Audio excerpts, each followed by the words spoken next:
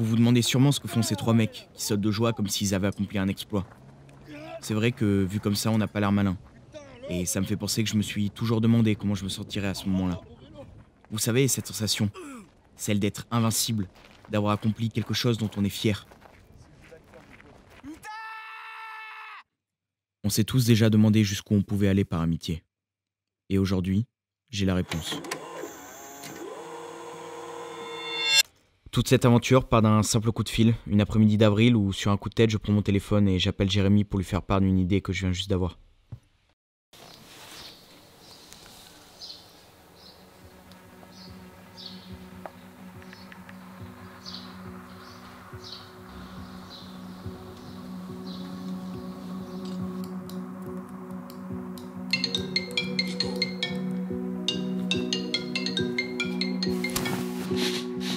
Salut Jam, ça va, je te dérange pas Yo mec, euh, ça va et toi Dis-moi. Tu te souviens du trip que je devais faire cet été euh, à vélo Euh, ouais, euh, le trip à travers l'Europe jusqu'en Arménie là Ouais mec, bah je viens de voir avec les mesures sanitaires, la fermeture des frontières, je pense qu'il faut vraiment que je me fasse une raison. Ce trip là, ça va être mort, il va falloir que j'annule tout. Ah merde, mais du coup, quoi de prévu cet été-là Mais mec, c'est pour ça que je t'appelle, j'ai pensé à un truc, dis-moi si ça pourrait t'intéresser. Je me suis dit, toi ça fait longtemps que tu rêves de faire un projet du genre, donc si t'es chaud, on pourrait partir faire un tour de France à vélo et partir à trois avec Kevin. J'avoue que tu me prends un peu au dépourvu là, mais euh, c'est vrai que ça fait très longtemps que je rêve de faire un projet comme ça. Et en plus, euh, toutes les frontières sont fermées, donc euh, autant faire un grand trip en France au lieu de tout le temps partir à l'étranger quoi. Ouais mec, t'as raison. Ben écoute, euh, moi j'ai pas mal d'idées déjà en tête. Par exemple, j'avais pensé peut-être faire un tour des plus beaux villages de France, mais bon, je préfère qu'on en parle directement tête à tête. Donc euh, dis-moi toi si tu peux te libérer en juillet et tu vois avec Kevin. Et ensuite nous on se revoit euh, directement. Vas-y, ben on se capte cette semaine pour en parler sérieux, ok? Vas-y mec, à plus. Vas-y, ciao.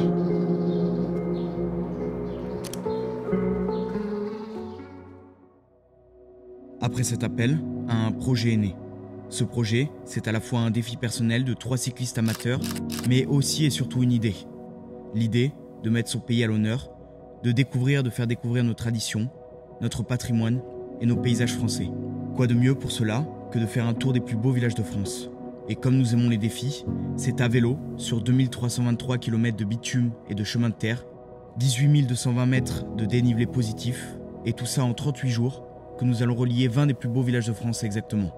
Et pour être sûr d'avoir une grande diversité de paysages et de terroirs français, nous vadrouillons à travers 6 régions de France, dans chacune desquelles nous avons choisi un village phare, où nous y approfondissons notre découverte, en dormant et en mangeant sur place, et en y réalisant l'interview d'un artisan qui contribue à l'essor et à la renommée de son village.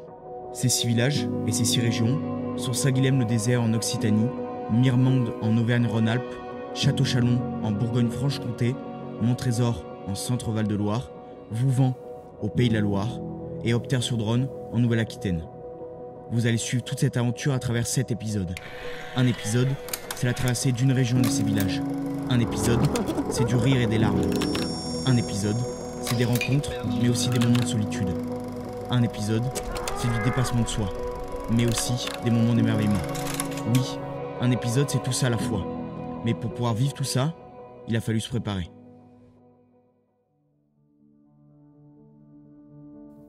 Le chrono est lancé, nous avons moins de 4 mois pour tout préparer avant le grand départ le 1er juillet 2020. On trouve rapidement notre fil rouge et notre nom, qui sera les Moustachios en vadrouille, qui embarquent pour un tour des plus beaux villages de France.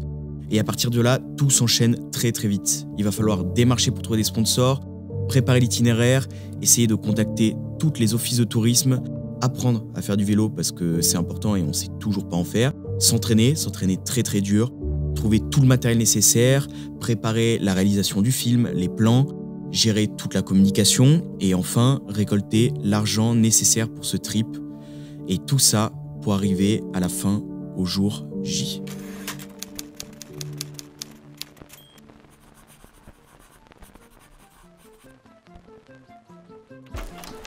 On avait initialement prévu de faire venir tous les cyclistes de Bordeaux pour notre grand départ, et comme vous pouvez le voir, ça n'a absolument pas été le cas, mais heureusement, on peut toujours compter sur ses meilleurs copains pour nous soutenir. On s'est donc réunis sur la mythique place des Quinconces de Bordeaux pour un pot de départ à base de saucissons et de ricard pour rester dans le thème et faire le plein de carburant pour le voyage. Chacun a amené son scooter ou son vélo pour pouvoir nous escorter jusqu'à la sortie de la ville. Et c'est vrai qu'une escorte de moustachus à vélo, ça ne sera pas passé inaperçu dans les rues de Bordeaux. Mais ça, c'était bien le but. On s'éclate déjà comme des gamins qui viendraient juste de recevoir leur tout nouveau vélo pour Noël.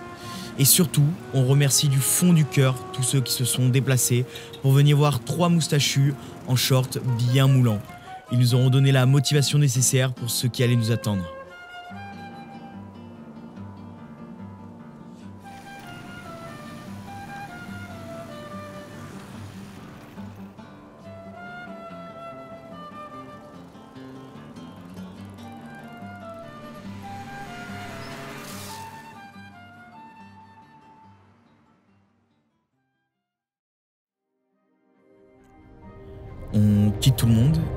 Choses sérieuses peuvent enfin commencer.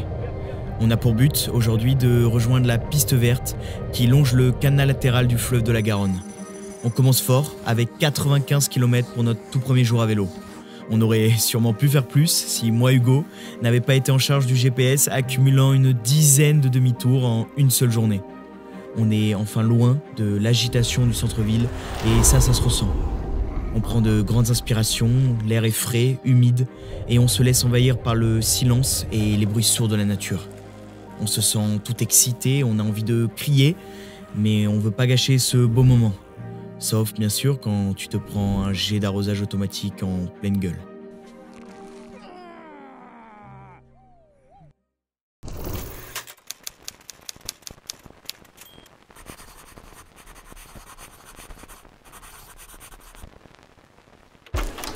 C'est bon les céréales aux fruits secs Du coup, ce qu'il faut savoir pour situer, c'est qu'ici on est au mois d'Agenais, donc hyper important. Où là, la nuit, c'est à peu près. euh, je pense qu'il a fait genre 10 degrés.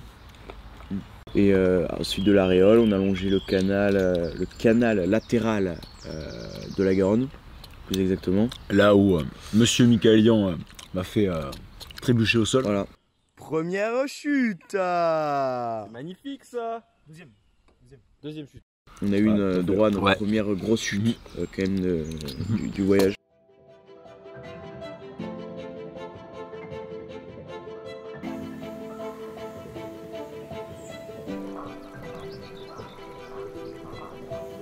On a 82 km à faire aujourd'hui et pas le choix. On doit être ce soir à notre premier des plus beaux villages de France, au Villard. On avance toujours en longeant le canal latéral à la Garonne et la route est plate et les paysages ne changent pas beaucoup. L'envie de découvrir de nouveaux horizons se fait fortement ressentir. On accumule les chutes dès le début du voyage avec Hugo qui nous fait une nouvelle sortie de route. Heureusement, plus de peur que de mal. Même s'il faut continuer d'avancer, on profite du beau temps et on s'accorde des pauses sur les rives du canal où l'on vous déconseille de faire comme nous et de plonger dans cette eau qui n'est clairement pas aussi propre et translucide que celle des Bahamas. C'est en voyant nos premiers champs maïs que l'on se rend compte qu'on est vraiment plus très loin du village. Il ne nous reste plus que quelques coups de pédale et encore un peu d'effort pour enfin toucher au but. Et on était pourtant loin d'imaginer ce qui nous attendre à l'entrée de Villars.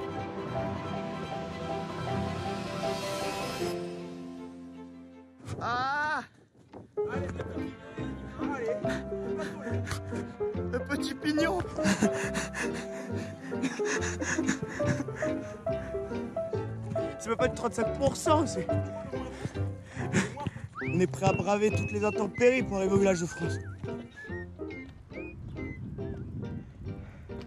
On a pu comprendre dès au Villard pourquoi on dit que les villages médiévaux sont des villages perchés. En ayant gravi le chemin pour entrer dans le village, les vélos à bout de bras et les jambes toutes tremblantes, on voit un monsieur en haut de la côte, un sourire en coin. C'est Yves, un vétéran cycliste qui habite ici au Villard. Et pas le temps de poser nos affaires quand on se retrouve un verre de fond de culotte à la main autour d'une table sur la terrasse de notre nouveau compagnon. Mais pourquoi le nom de fond de culotte, Yves? Parce qu'on ne, s'use- on ne s'use qu'assis. Ah, Ça ne s'use Cassis. Le Suisse Cassis. c'est pas bête du tout. Eh bien, à votre, à la, à votre périple, Au moustachu. Un cocktail à base de suze et de sirop de cassis qui se marie parfaitement bien avec une belle rencontre, une chaude après-midi d'été. On sera resté si longtemps à picoler avec notre tout nouveau copain que tous les restos du village sont complets. Heureusement, en cherchant un tout petit peu, on va trouver chez Tati, une petite maisonnette à la cuisine 100% locale du potager, pour finir la soirée en beauté avec un plat de spaghettis et une bière à la main.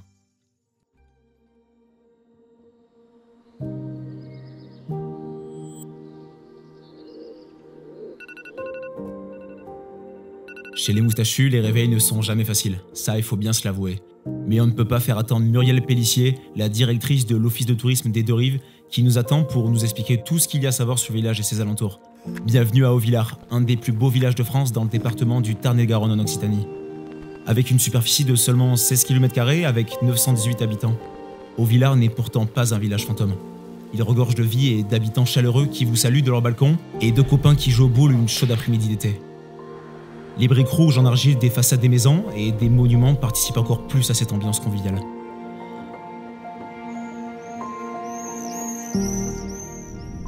Si nous devions vous donner un conseil, c'est de vous perdre dans les ruelles du village. Ne vous encombrez pas d'une carte, vous arriverez de vous-même sur la place centrale d'Auvillard pour y voir sa halle grain, monument incontournable datant de 1830.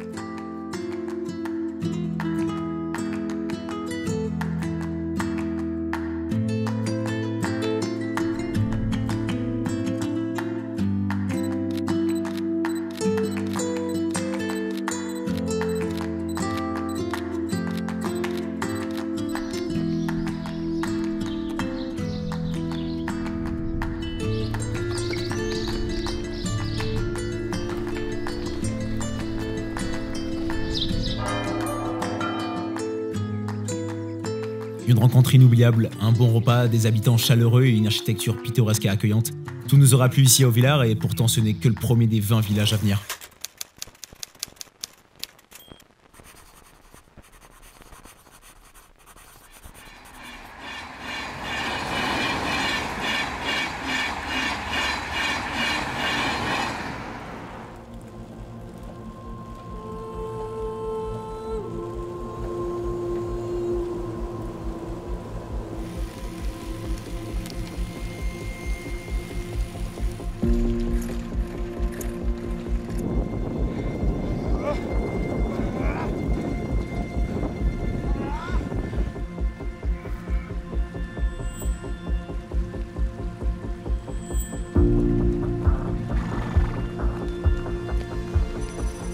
On repart sur les routes vers notre deuxième plus beau village de France, Lozerte, où l'on y déguste au sommet de ce dernier une pizza bien placée pour voir le soleil se coucher sur tout le Tarn-et-Garonne. Je peux vous dire qu'on a eu tellement de mal à remonter sur nos selles après avoir englouti nos pizzas qu'on est rentré de nuit jusqu'à notre camping à 2 km sur les bas du village. Il était temps qu'on se cale au chaud dans nos duvets et qu'on finisse cette journée avec de très belles images en tête.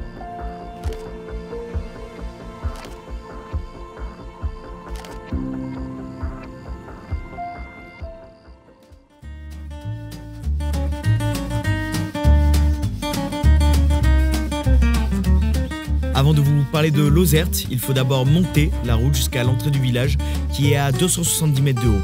Mais ça, c'était sans compter le vélo de Kevin qui décide de dérailler en plein effort. Heureusement, il n'aura suffi que de quelques coups de clé à laine pour pouvoir repartir. Il n'y aura pas eu que des malheurs sur la route jusqu'à Lozerte ce matin, car on tombe par hasard sur un cow-boy mystérieux qui nous fait signe sur le bord de la route.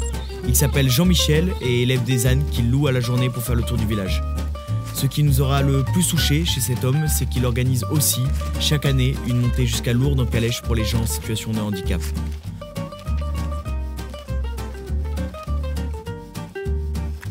Mais revenons à nos moutons. Voici Lozerte, toujours dans le Tarn-et-Garonne, mais qui est quand même plus grand que Haut-Villard, avec une superficie de 44 km et 1454 habitants.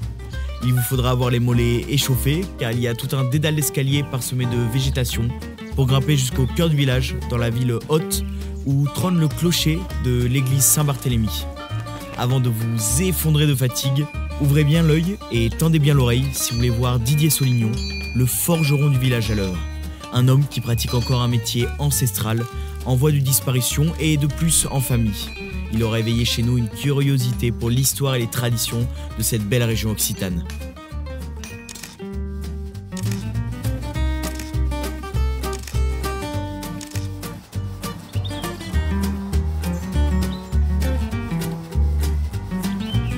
Avec cette chaleur, on prend un moment de repos avec un jus de pêche frais sur la place des Cornières avant de repartir sur la route vers 16h.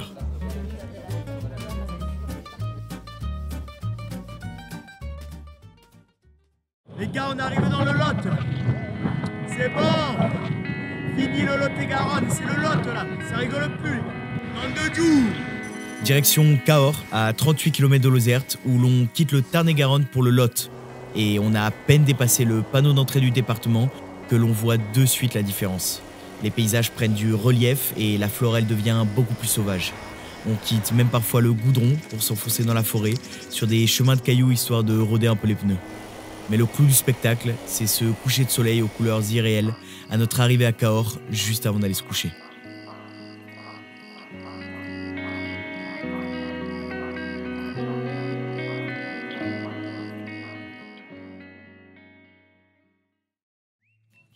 Ça c'est un bon mois de juillet comme on les aime. Il pleut pas, il, il, il brume. Il y a un pire que ça. Il bruine, il bruine, il bruine. Heureusement on a pris un kawaii quand même.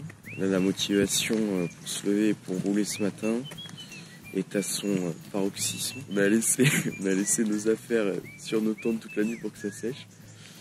Du coup, vu qu'il a plu, ça a bien séché quoi. C'était, c'était une bonne idée. Genre de, de bonne journée, bonne journée qui commence. Malgré du tapage nocturne, en arrivant au camping hier soir vers 23h, nos voisins camping-car prennent pitié de nous en nous voyant sous la pluie. Alors, tels de grands-parents intentionnés, ils nous invitent à leur table pour déguster une tartine de Nutella et un verre de jus d'orange. Une fois le ciel éclairci, on part sur la route à la recherche d'une boulangerie pour manger ce midi à Cahors. En arrivant, la boulangerie est fermée, alors on s'énerve tous les trois devant la boutique et là une dame sur la tête de sa fenêtre. C'est pas fini ce bordel Bon, venez manger à la maison. Pas croyable. On pensait se faire remonter les bretelles et à la place on finit autour d'une table, des acras de morue entre les doigts. Marie-Paul, notre hôte, est une réunionnaise qui prépare cette spécialité de chez elle quand elle a des invités. Mais les acras, ça savoure aussi avec du piment réunionnais. Ah là là, le piment réunionnais.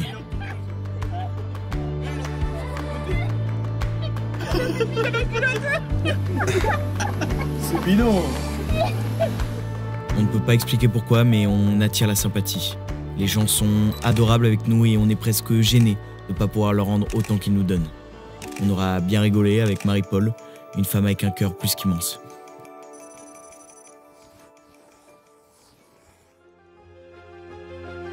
Il va falloir digérer le piment parce qu'on a 26 km à faire jusqu'à notre prochain village, Saint-Cyr-la-Popie dans le Lot.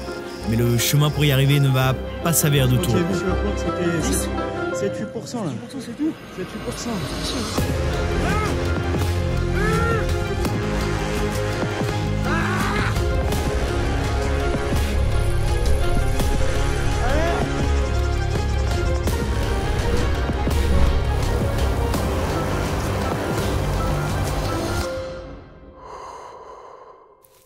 Après l'effort, on laisse place au réconfort, qui n'est autre qu'une pinte et un bon repas sur la plus belle terrasse de Saint-Cyr-la-Popie au Loubola.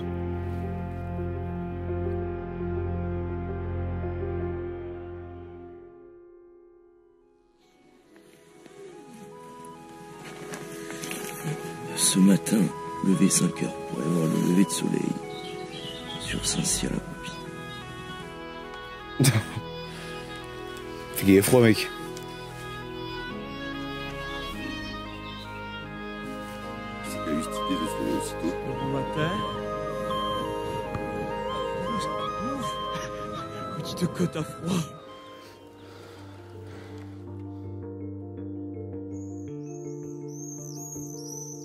Non mais regardez-moi ça. Saint-Cyr-la-Popie. Un petit village perché à 389 mètres d'altitude sur les falaises du Lot. Et je peux vous dire que ça valait le coup de cette gelée les miches à 5h du matin pour pouvoir voir ça. Un lever de soleil qui illumine petit à petit tout le village et qui réveille les oiseaux chantant ce matin seulement pour trois moustachus. Oui, on a le village pour nous tout seuls, il n'y a pas un chat.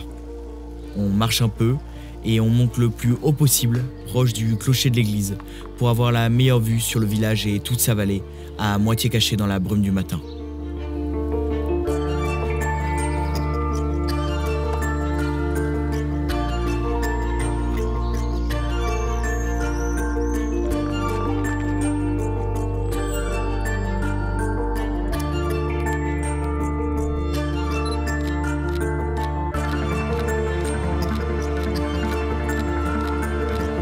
village de Saint-Cyr est réputé comme un des plus beaux villages de France et ça on peut vous l'accorder. Mais on ne va pas se mentir. Contrairement à nos deux premiers villages, nous nous sentons comme dans un village fantôme. Il n'y a que très peu d'habitants et les seules personnes que nous avons pu croiser étaient des saisonniers venus ici pour la saison touristique.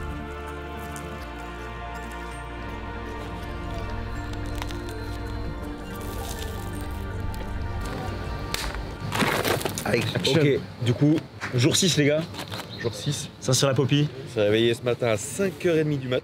Oui, euh, plus 6h quand même. Non, il était 5h30.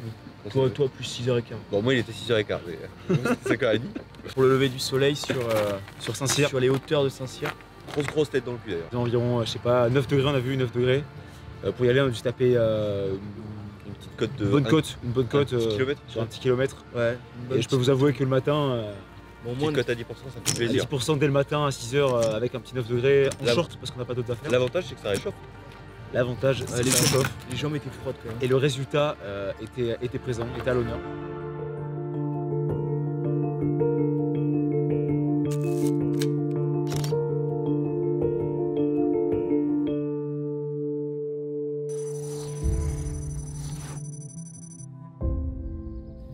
Fois le petit déj englouti, on laisse Saint-Cyr-la-Popie derrière nous et on monte sur les bolides, direction puis celle-ci, le quatrième plus beau village de France sur notre liste.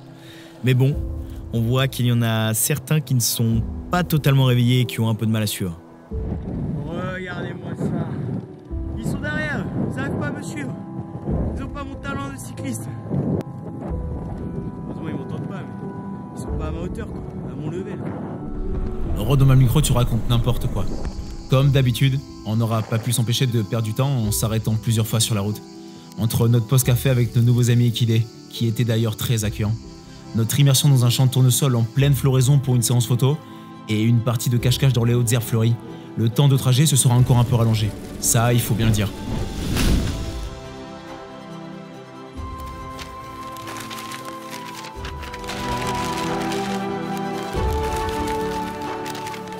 Le réveil aux aurores à 5h du mat commence réellement à se faire ressentir. Les jambes, ça commence à fatiguer. Commence à fatiguer. Puis celle-ci, euh, quatrième, quatrième des plus beaux villages de France. Là, on arrive ce soir.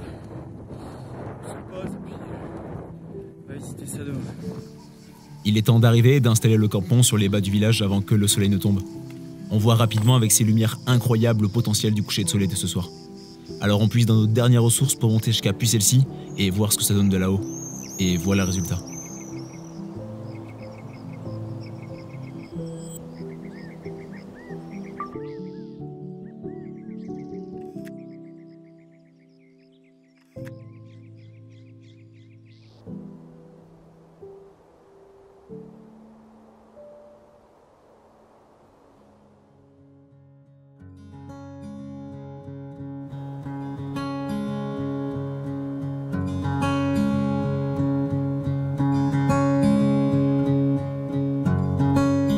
Celle-ci, un petit village médiéval du Tarn chargé d'histoire, perché à 367 mètres d'altitude. Pour nous parler de l'histoire de son village, c'est avec Louis Torrijos que nous avons rendez-vous ce matin. Eh bien, moi, je m'appelle Louis Torrijos. Je suis né au village. Louis est un habitant du village qui a toujours vécu ici. Sa famille s'est installée juste après la guerre d'Espagne. Louis est un passionné d'histoire qui a passé une grande partie de sa vie à collecter des archives sur son village.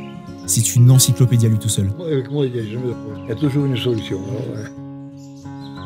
Notre guide va même nous donner des cours de vieil occitan, la langue d'oc. C'est une belle langue.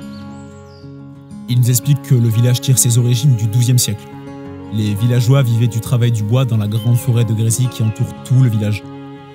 Il y avait des bûcherons, des menuisiers, des charbonniers et j'en passe. Tous ces gens-là vivaient directement sur place dans la forêt.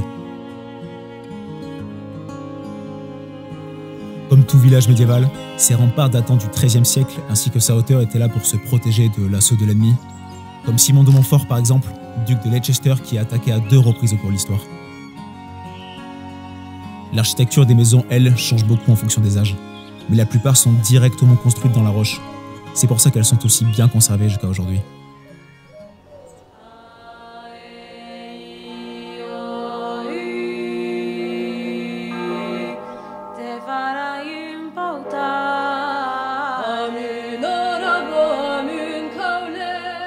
Avec Louis, on vit un vrai voyage dans le temps.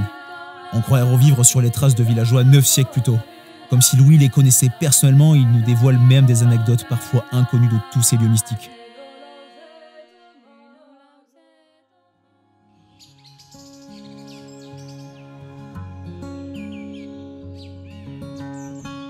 On termine notre visite au point de départ, dans le garage de notre nouvel ami, qui nous montre sa collection de vieilles trouvailles liées à l'histoire du village. Louis aura su nous réconcilier avec les visites touristiques de vieux châteaux que l'on a tous connus étant enfant. Une personne aussi passionnée ne peut être que passionnante, tout simplement.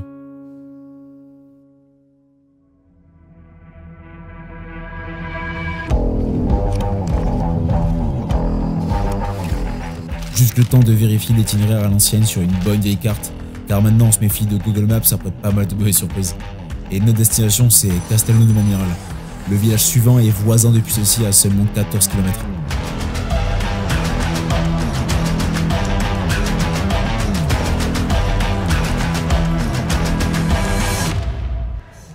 Et non, la visite ne sera pas pour ce soir, il est déjà bien trop tard. On part se coucher impatient d'être demain et de voir ce que notre cinquième village a à nous offrir.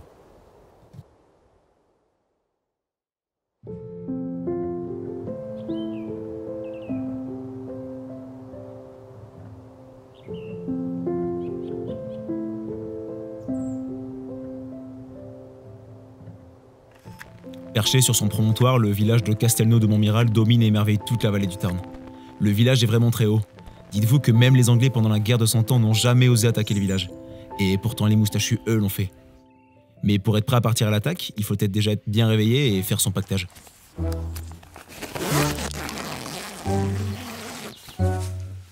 Vas-y.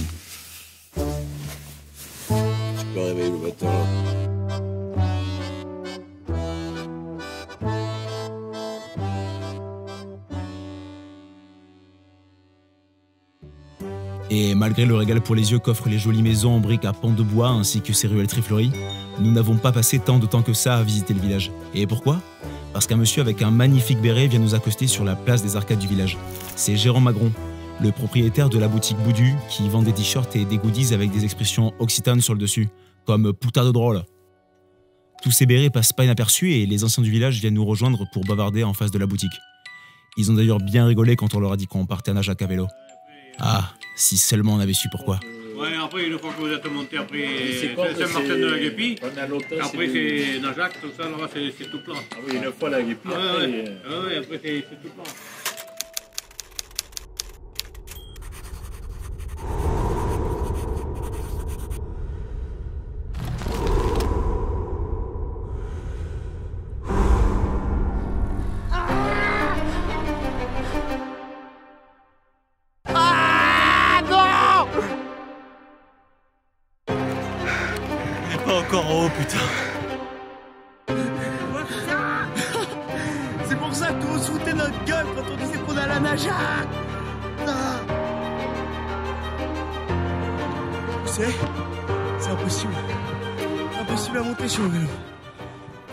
Qu'il disait, hein.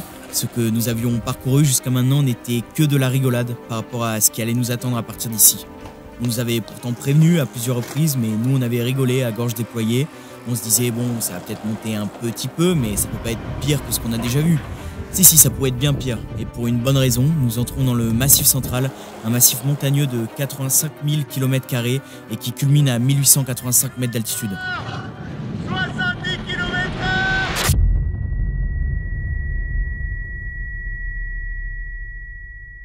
J'ai fait tomber le béret, putain. Eh, Il s'est envolé. Il s'est envolé. Ah putain. Et la frappe à 70. Et le béret qui s'envole. Le béret qui s'envole.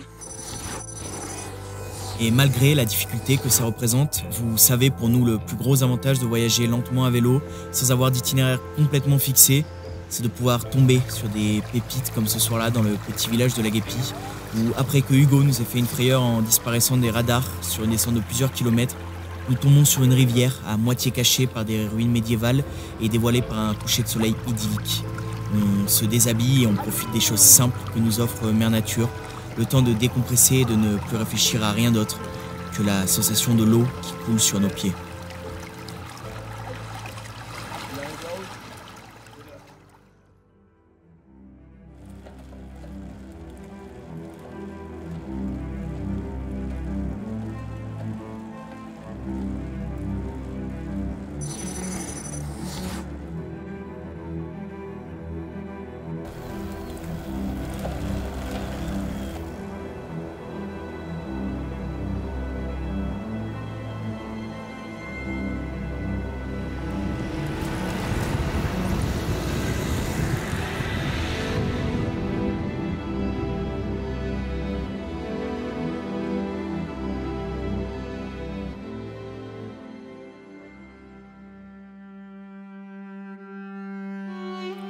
Même s'il nous aura fallu quand même 10 jours depuis Bordeaux pour y parvenir, nous arrivons déjà à notre sixième plus beau village de France sur la liste. Dans l'Aveyron, avec son point culminant à 507 mètres d'altitude, où se dresse sa forteresse, vestige datant du XIIIe siècle, construit par les seigneurs locaux et renforcé par les comtes de Toulouse. Il nous aura fallu porter et pousser les vélos pour arriver au sommet, car ça grimpe quand même beaucoup. Et le village, lui, est construit autour d'une grande rue principale, qui part du château et qui monte jusqu'à la place du faubourg, à l'opposé de sa forteresse. En partant du château, plus vous remontez en marchant sur cette rue et plus vous avancez dans le temps, le village s'étant construit du XIIIe siècle jusqu'au XVIIe siècle vers la place du faubourg. Après être remonté, on s'arrête, goûter la spécialité d'ici, la foisse, une couronne à la mi-moelleuse et parfumée à la fleur d'oranger dans une des meilleures boulangeries de l'Aveyron, la maison d'Elmure, où nous avons reçu un accueil plus que chaleureux. Comme à chaque village, tels les gamins impatients et curieux que nous sommes, on se balade dans ces ruelles et après avoir marché un bon moment, on tombe comme par hasard sur le spot de jump de tous les jeunes du coin sur le beau pont de Saint-Blaise. Les moussachus font alors ce qu'ils font de mieux, ils s'incrustent et ils profitent.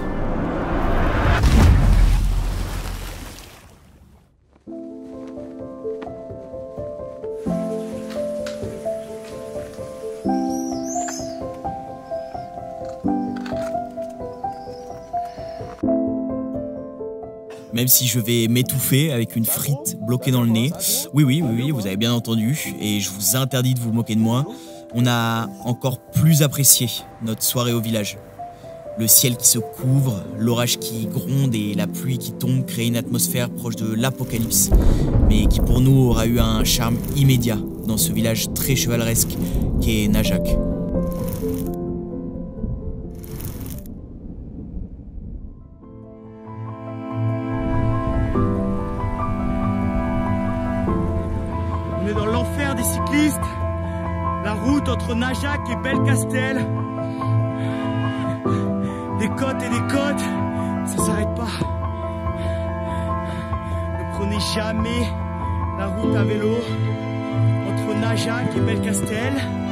Sinon, vous aurez droit à ça.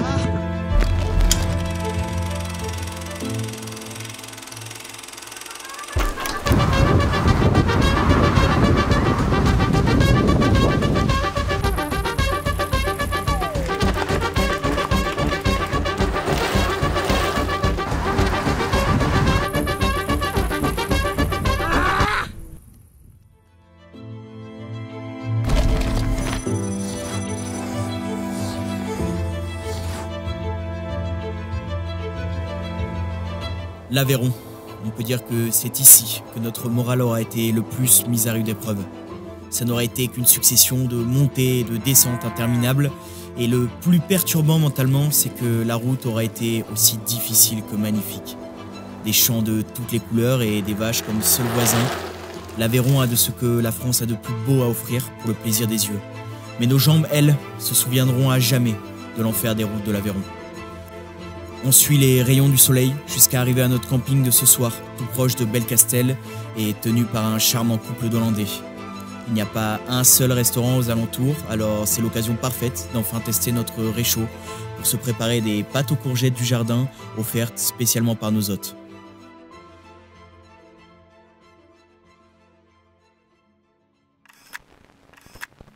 Bienvenue à Belcastel, un tout petit village aveyronnais caché dans une forêt dense et majestueuse.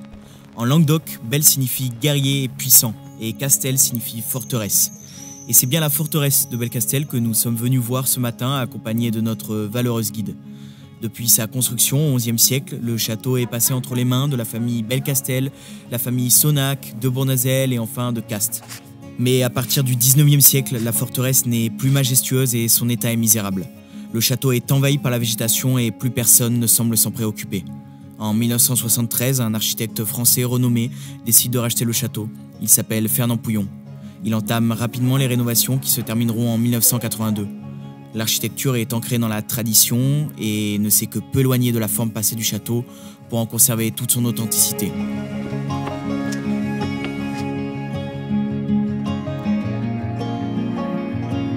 Kevin, lui, a fini la visite affalé sur le transat et Jérémy, par contre, s'est fait un tout nouveau copain qui ne veut plus le lâcher.